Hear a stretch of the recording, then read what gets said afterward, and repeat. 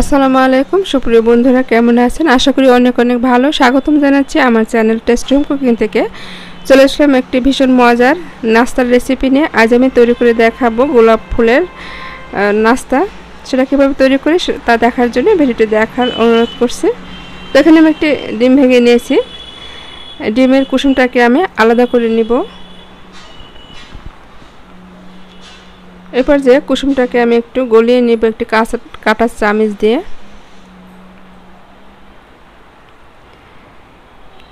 এর ভিতরে দিয়ে দেব সামান্য পানি।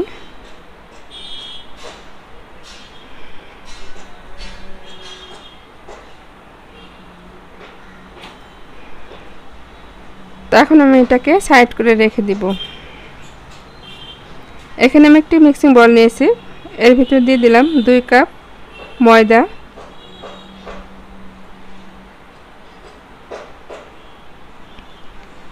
দিয়ে দেব স্বাদ মতো লবণ।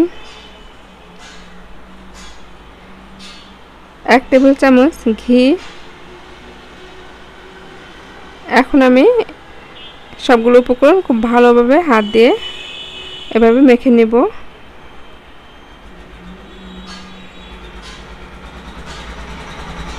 এরপর যে আমি সেই ডিম আর পানি দিয়ে মিশ্রিত সেই পানিটা দিয়ে দিব। একবারে দেব না, বারে বারে দিয়ে একটি শক্ত ডো তৈরি করে নেব এখানে।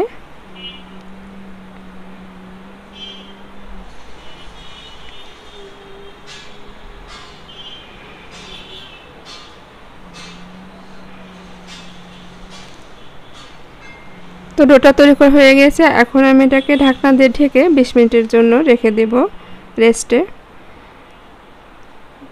চুলা একটা প্যান বসে দিয়েছি। দিয়ে দিলাম এক কাপ চিনি আর দেব এক কাপ পানি। এরপর যে আমি একটা চিনির শিরা তৈরি করে নিব।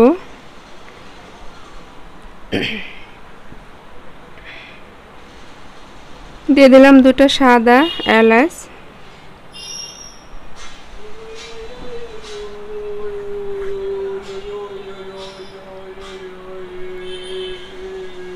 তো জিনিস তৈরি করে হয়ে গেছে সাইড করে রেখে দিলাম। তো চলে আসলাম বিশ মিনিট পর। তো ডোটা কিন্তু অনেকটা সফট হয়েছে। এখন আমি আরও একটু ভালোভাবে মথে নেব।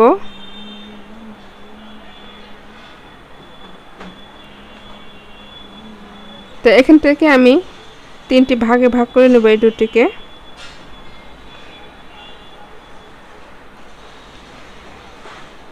একটু ময়দা ছিটিয়ে আমি একটু রুটির মতো করে তৈরি করে নেব।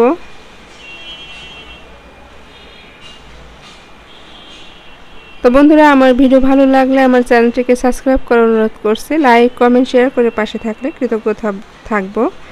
তো আমি একটা রুটির মতো করে তৈরি করে নিয়েছি। এখন যা করতে হবে, এখানে আমি একটি ক্যাপ নিয়েছি। আপনারা চাইলে স্টিলের গ্লাস ব্যবহার করতে পারেন এক্ষেত্রে। তো এই ক্যাপটি দিয়ে আমি গোল গোল করে ছোট ছোট রুটির মতো করে কেটে নিব।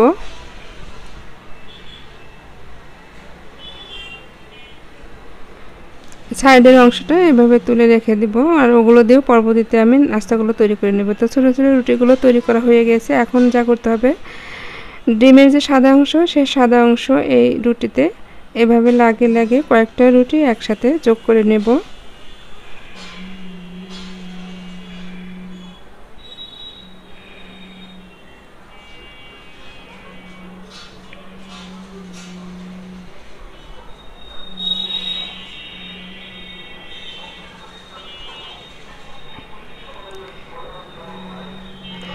এরপর যে এভাবে মুড়িয়ে গোল করে রুলের মতো করে তৈরি করে নিব। এই তো। এখন আমি এটাকে মাঝখান থেকে কেটে নেব ছুরি দিয়ে।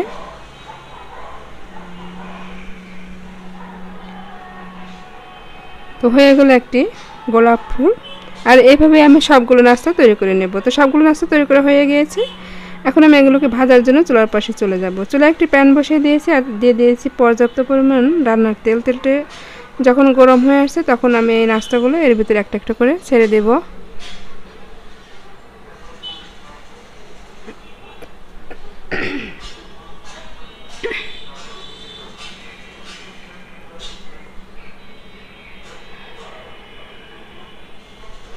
তো উপর দিয়ে এভাবে তেল দিয়ে দিতে হবে, তাহলে উপর দিক দিয়ে খুব সুন্দরভাবে ফ্রাই হয়ে আসবে। মাঝারি আছে, এগুলোকে ভেজে নিতে হবে। এরপর যে আমি উল্টে দিয়েছি।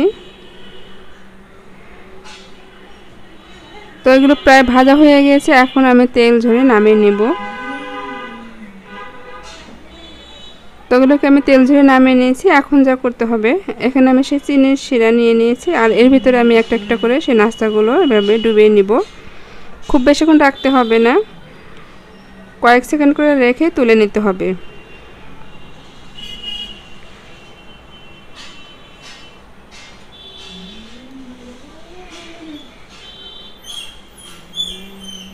তো বন্ধুরা, তৈরি হয়ে গেছে ভীষণ মজার, লোভনীয় আজকের এই নাস্তার রেসিপি তো আমার রেসিপি কেমন লাগল কমেন্ট করে জানাবেন। আপনাদের জন্য অনেক অনেক দোয়ার ভালোবাসা রইল। আমার জন্য দোয়া করবেন। চলে আসব আবার নতুন কোনো রেসিপি নিয়ে।